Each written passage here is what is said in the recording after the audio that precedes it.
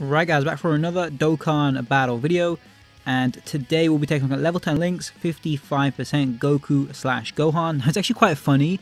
Um, at this point, I've already uploaded the Pure Saiyans ESBR run, uh, as well as the Ultimate Red Zone against Broly. At this point as well, I've actually also recorded and edited uh, the Omega run against the Ultimate Red Zone, or the Ultimate Red Zone against Omega. Uh, I just have to render that out. But with this one, uh, we'll just be taking them into two different stages. So before we actually get into the showcase, um, and again, feel free to skip this part. You can just probably scroll along the YouTube timeline, check the comments or check the description.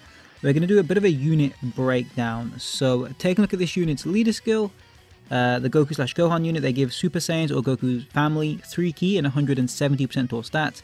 And then Androids slash Cell Saga get the additional 30% to HP attack and defense.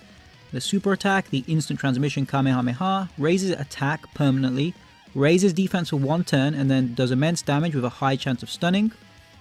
Take a look at the passive, Goku goes full throttle.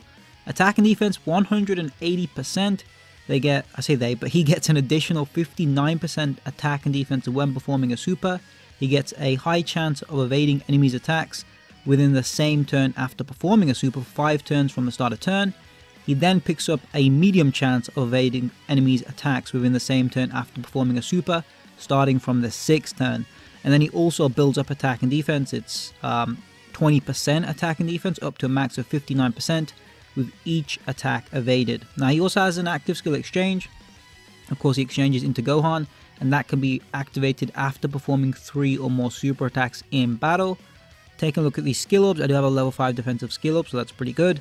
As for links, we have Golden Warrior, Saiyan Warrior Race, All in the Family, Super Saiyan, Kamehameha, Prepare for Battle, and then Fierce Battle. And then categories, it's like he, this unit is on plenty of good and relevant categories, right? We've got Pure Saiyans, Full Power, Goku's Family, Super Saiyans, Android slash Cell Saga, Kamehameha, Bond of Master and Disciple, Turtle School, Heavenly Events, Bond of Friendship, Accelerated Battle, and then Entrusted Will.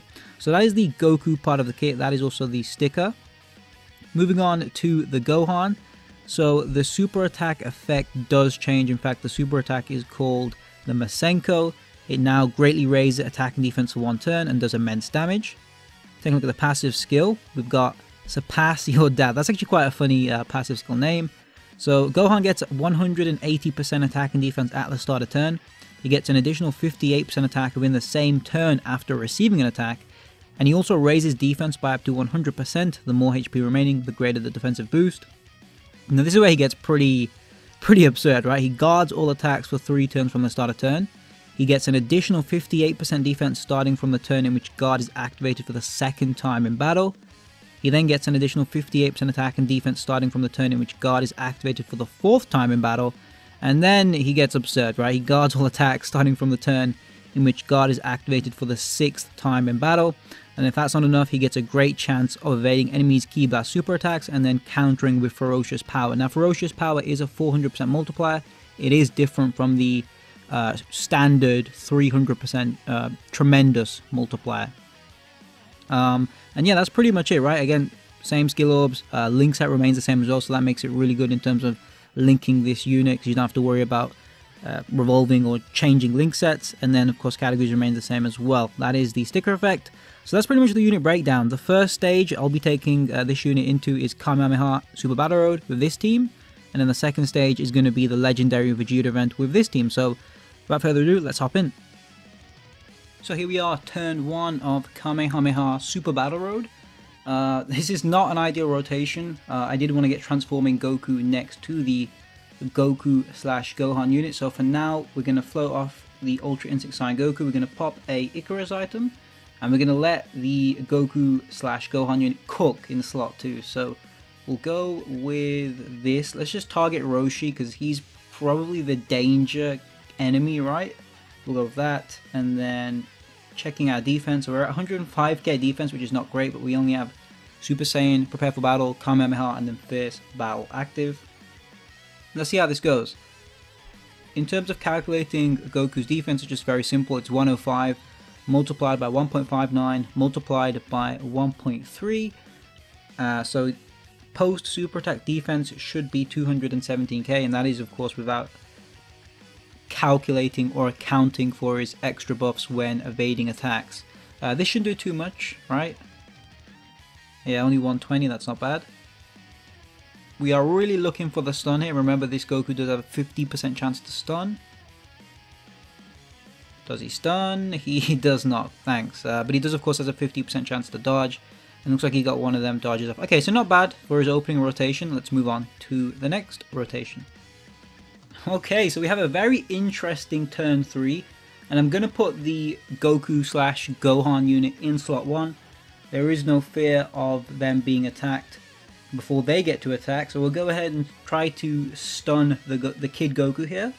We'll have LR Super Saiyan 4 Goku in slot 2, finish off Grandpa Gohan, and then you're not really going to get a super attack, but again, I think that's fine. So starter turn defense is 126. Remember, they did pick up an additional attack and defense of 20% in the previous turn because, of course, he evaded one attack. Do we get the stun here? We do not. Okay, yeah, great. We, we do not. It's fine, though. Uh, Goku's defense is very high at this point, so from normals, he will be fine. And yeah, at this point, we should be moving on to the next phase. Okay, so we made it back to the second phase here. Finally got the rotation that I wanted, which was the transforming Goku next to the... I gotta think of another name. I can't just keep calling him Goku slash Gohan. We're just gonna keep we're just gonna call him Goku for this particular run. And of course, once we jump into the legendary Vegeta event, we'll just call him Gohan. But I'm gonna pop a Senzu. I really don't know how this rotation is gonna play because if I remember correctly, this transforming Goku does take a lot of damage from that cell. So we'll have everyone target cell. Uh, I really, I really, really, really need the stun from uh, Goku in slot 2 there. And we're going to have LR Super Saiyan 4 Goku also target cell. Starter turn defense is looking a lot better now, 125k, but let's see. Yeah, okay, that's a lot of freaking damage. Oh my god, okay. Uh, this stage is, is not a joke, although I suppose this stage is balanced around like the 70th anniversary LRs, right? Because again, you bring the LR Super Saiyan 4s or the LR Gods and they just absolutely will trash this stage. Please stun. No stun. Okay, that sucks because of course if he does decide to super attack, that's gonna hurt. I'm gonna need LR Super Saiyan 4 Goku here to like double super. Um, he was also taking a bit of damage there, right? Like what 27k per normal, which again is fine. I would have preferred better tanking, but he's a build-up unit, right? This Goku. So let's move on to turn three. Right, yet another interesting, very interesting rotation because we do have the support from the LR Saiyan Saga Goku in slot 3. We'll have transforming Goku target the physical Cell Jr. We'll have the Goku in slot 2 to target the Tech Cell Jr. And then the Saiyan Saga Goku can also target the physical Cell Jr. So starter turn defense is 166k, he's looking a lot, lot better. Let's see how this goes. So Again, to very quickly calculate his defense, we just do 166. He's still taking that much damage? Oh my god, okay. Transforming Goku, could you be a bit better, please? Uh, but again, back onto his defense post super, it will be 343k, which again is pretty good for a 55% unit. Please stun. No stun again? Okay, you just suck. Uh, okay, no, he doesn't suck, but he doesn't suck, but he sucks, if you understand what I'm trying to say. Uh, let's move on. Okay, so we made it to the final phase let me let's just be honest. We know how much damage this Goku takes from normals anyway. Uh, we're gonna pop another item. We'll pop the Icarus. I think I'm also gonna be a bit risky here. We're gonna pop the Senzu Bean and we're gonna move the Goku in slot two into slot one. Let's target Goten because we have two AGL units on rotation. We'll go over this. We'll have the transforming Goku target Goku, and then we'll have L Super Saiyan 4 Goku also target Goku. Starter turn defense is 125. We do have the Icarus. I was gonna say Icarus support memory, but no, the Icarus item active. Yeah, he's taking a lot of damage, but again, this is not how you're supposed to use this Goku. Remember, he gets 59% defense when performing a super attack. He also gets a 50% chance to dodge after super attacking. And then he also has a 50% chance to stun, right? Which is obviously directing us, the player, to put this Goku into slot 2. I can't believe we didn't get a stun again, but honestly, all things considered, I feel like he tanked that super attack okay. It was with an item active, but it is what it is. So let's move on.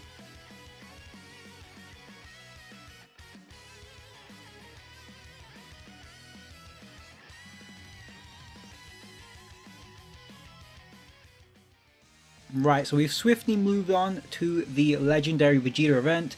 This is probably something that I forgot to talk about in the initial run. The reason why I didn't use the Goku and Gohan under their own leader skill for Kamehameha Super Battle Road was just because I wanted to see this unit in as many different leader skills and, and as many different situations as possible. So that is why we're now using the full 200% leader skill where it will matter because in an event like this we're very likely to get the Gohan form, right? We're very likely to exchange. So off the bat, one thing to note is that the extra 200% leader skill, I say extra 200% leader skill, but the extra 40% of stats that we're picking up with uh, a double 200% leader skill is making all the difference, right? I know that we have um, all in the family active. I know that we have the support from the int LR Goku, but already our starter turn defense is quite a lot higher. So we're going to go with this. I'm going to try and float Namek Goku off in the next rotation so we can get Namek Goku alongside this Goku slash Gohan unit. And at that point, uh, we'll start to cook. What kind of attacks did he have for me here? Goku? 3.6. Okay, again, it's not the greatest, but we don't really have Super Saiyan. We don't have Prepare for Battle. We don't have Kamehameha active, so I'm going to take that attack step. Pretty good damage. There's one evasion. There's the second dodge, so not bad for his opening appearance. Okay, so turn number 3, our second rotation of the STR Goku slash Gohan unit. I'm fine with just keeping it in slot 1. You know, this is a very early stage. We have type advantage, so we know we're not going to take that much damage. Um, I'm also probably going to save B-Pan's active for later. Starter defense is already looking pretty good. We only need one more attack to evade. And at that point, we would have fully built up our passive. So 4. Point, I was going to say 4.4, but 4.04. Again, not bad of an attack start. I don't actually believe this stage can be stunned. So for the most part, you know, the stun is pretty much invalid, um, you know, for these longer type content events, but we'd seen its impact in something like Super Battle earlier and uh, in other stages like the Ultimate Red Zone, for example, the first stage for Broly and the first stage for Omega. Okay, so we've finally got the rotation that I wanted into Namek Goku next to this Goku slash Gohan unit. Now, I really want to keep Namek Goku in slot 1 because he hasn't super attacked at all. But I fear that even at 55% with the extra support that we're getting on this rotation, you would most likely finish off the Vegeta, right, with the double super, especially because I believe my Namek Goku, uh, yeah, he does have a level 5 crit, I think I give him through the silver slot, yeah, I did give him a level 5 crit through the silver slot, so we're not going to risk it, we're going to go with this. Let's just hope Namek Namagoku can double super attack anyway. This, of course, will be the final uh, super attack until we are able to exchange into Gohan, so Starter turn defense is 176. It would have looked a lot better in slot 2 if we had all in the family activated from the floating LR Goku. Wow, 6.2. That was... That's actually a pretty good attack stat. Yeah, that's a that's a pretty solid attack stat for a 55% unit. Remember, he has a 55%, has 55%, he has a 50% chance to stun and a 50% chance to dodge. So yeah, not bad from uh, our boy STR Super Saiyan Goku.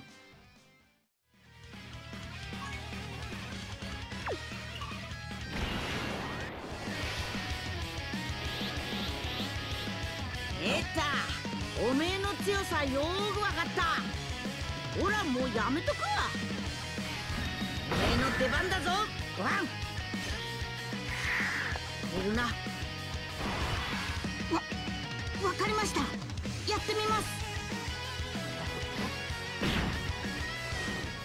Okay, I'm not gonna lie, that's actually a pretty banger OST. I also have to admit that I really like the animations overall for this Goku slash Gohan unit, so we're going to keep Gohan in slot 2. Uh, we will trigger half of his passive to be activated. Remember, Gohan will need a total of 6 attacks uh, to get guard for the rest of the battle. So I think we'll be fine with 3. The only unfortunate part will be is if the next time we see Gohan there are 3 attacks in slot 3. We will have to of course float him off, but it is what it is. Uh, of course, Namek Goku's taking a bit of damage just because his defense was lowered, and he hasn't really super attacked at all. I think he's only super attacked like once or twice, so uh, that is the reason why he's in slot 1. Again, Namek Goku's actually offense is still very good, right? Again, just very casually 6 million, 7 million attacks. That's it. Defense is building, but yeah, I do wish he started off with a higher starter turn defense. So 3.19 from you, pretty good. Uh, remember, with 2 attacks, he gets 58% defense. With 4 attacks, he gets 58% attack and defense. And then with 6 attacks, that's when he maxes out his guard. Uh, this will do a lot of damage. I say a lot, but it'll do a bit of damage. Yeah, 51k, not bad. Uh, but do remember this Vegeta did lower our defense there, so that does suck. Okay, so a few things to point out here is that Gohan, remember his defense was low, which is why it's a lot less. We're going to keep him in slot 1 though. Remember, we do need 3 attacks to fully max out his guard, or so that he gets guard for the rest of the battle. Which does mean we are missing out on All in the Family, but it's fine. Uh, we'll go with this over here. We'll go with Namek Goku's 12 ki. Remember, I do want him stacking. I think we'll save the B-Pan active. Again, um, I want to try and save it to the final phase, right? Because at that point we'll also hopefully have stacked with Namek Goku maybe a few times with his 18 ki to get him stacking his attack, but uh, let's see, so 145k defense, uh, we need three more attacks. We're actually very shy of the Dokkan mode as well, but that's fine. So that was pretty good there, we got, what, the, the one-time 58% attack buff for the turn, as well as the attack and defense 58% after receiving 4 attacks. So that's why Gohan's, yeah, that's why Gohan's attack stat was very high there. Okay, that sucks because, of course, both of those Vegeta, so the Super Saiyan 2 Vegeta as well as this God Vegeta have super attacks which are not ki blast base. So pretty good showing from Gohan in this rotation. Let's move on to the next time we see him. Okay, so this will be a pretty good rotation because we will get support from the LR Goku. Yeah, wow, 429k defense. I mean, that is also with All in the Family activated, right? Yeah, it is. Uh, I believe... Actually, no, I was going to say, the only thing we don't have actually active is Kamehameha, but that will trigger once we are able to collect Gohan's ki spheres, but I'm going to keep Gohan in slot 1. Um, you know, I fear a double super attack from Namek Goku would finish off this God Vegeta. Uh, yeah, why not? We'll give Namek Goku his 18 ki. So uh, let's see what kind of attacks that he'll output. I'm thinking like 7 million or something. Right? Surely. Or maybe like 6.8? 7.6. Oh my god, he's 55% by the way. Yeah, I don't know. When he starts doing this, like 7 million attack stats, 6 million attack stats, He's also guarding with like I don't know uh, on that rotation. I think he would have had 360k defense roughly in slot one. So post super attack, his defense would have been 540k. Yeah, when you have when you have a unit who's 500k defense with guard and then also outputting 6 million attack stats, they're very very good. Okay, so uh, unfortunately, I actually popped both my scouter items, so we are out of luck. There are no super attacks in this particular rotation, which kind of sucks. We're going to keep rotations as they are. I believe the last time we saw the floating LR Goku, we had put Gohan in slot 1. This time we'll put him in slot 2 and have every single link active, which is pretty crazy because starter turn defense is 428. Uh, just an FYI, 428 multiplied by 1.5 is actually 642k, so I think on this rotation Gohan will probably be around 5.5 million in terms of an attack stat. Remember he gets 58% attack, within the same turn after receiving an attack, but we put him in slot 2, so that won't really activate. But again, defense levels are pretty good, uh, and considering how good he is offensively, I think he truly deserves to be titled as one of the better units, if not one of the best units in the game.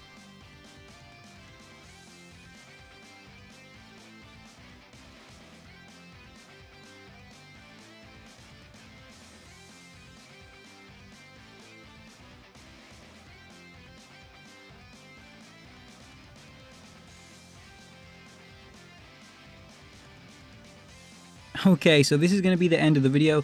I was not able to stall long enough to get the other rotation. B-Pan would have been there with Namek Goku and then the STR Gohan.